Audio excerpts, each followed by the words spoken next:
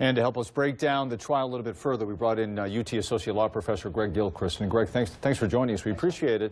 Let's, let's go back to, to yesterday Right. when the, uh, the evidence that really brought this trial to a halt was brought forth. Did the judge, Stacey Cook here, have any other choice other than to declare a mistrial? No, no. I mean, mistrial was at that point the only option. Uh, the statement made by the sergeant that uh, the defendant had failed a polygraph test is um, couldn't be admitted, and, and the jury isn't allowed to hear that. Polygraph tests are, are not uh, reliable. Uh, the fact that someone failed a polygraph really doesn't indicate anything about whether they were honest, but people believe it does, right? And so the jury, having heard that, would have a difficult, if not impossible, time giving a fair trial. And at this point, the prosecution's case comes to a screeching halt. Yeah. And then the deal, the deal making begins. So they go behind closed doors. Why not go forward and retry this case here?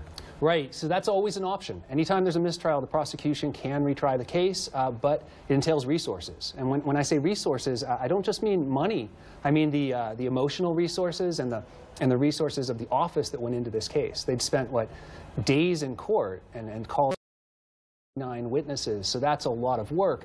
But it's just the tip of the iceberg. There's all the other work that went beforehand, and, and, the, and the strain on the families. Uh, and so I think they must have made a decision that a resolution was better, Right. uh, some closure was better than going on. The painstaking uh, three and a half years Yeah, after yeah. this, this fire took place. Uh, lastly, the Alford plea. We've heard so much about Alford pleas here. We tend to think that uh, uh, the defendant doesn't admit guilt, but there's enough evidence to prosecute or to convict. In this case, we understand Ray Abou-Arab still says he's not guilty. Yeah, that's what an Alford plea is. Uh, Yeah. You know, so famously, the, the case where Alford pleas were, were accepted by the Supreme Court involved a man named Henry Alford, and his quote was, "I am not guilty, but I plead guilty."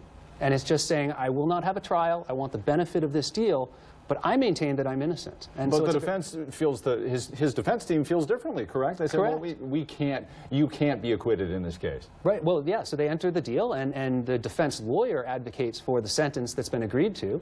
Uh, but as a as a sort of narrative matter, the defendant is able to maintain that he didn't plead. He didn't. He did plead guilty, but he didn't admit guilt, and that might be of some comfort to him. Okay, and uh, and hopefully there's some comfort, to, some justice here for the victims' families as well. Well, I think that's important to keep in mind because Yeah. I know this is a disappointing day, I'm sure, for the prosecution and for, and for the families who have been so invested and involved in this case. Uh, but there is closure, and, and there's a very serious sentence that's been imposed on the person who did this. And so there is a sense that uh, justice has been done. All right, Greg Gilchrist, thanks very much for coming in, helping Sure. us uh, put some perspective on this. Happy to be here. All right.